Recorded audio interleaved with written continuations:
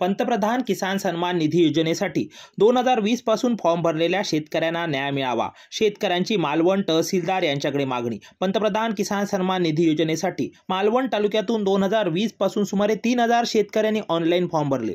मात्र अनेक फॉर्म कोणतेही कारण न देता रिजेक्ट झाले आहेत. तर उर्वरित फॉर्म मंजुरीबाबत कोणतीही कार्यवाही झाली नसल्याचे सांगत मालवण तहसीलदार कार्यालयातील काही कर्मचाऱ्यांच्या कारभाराबाबत शेतकऱ्यांनी संताप व्यक्त केला.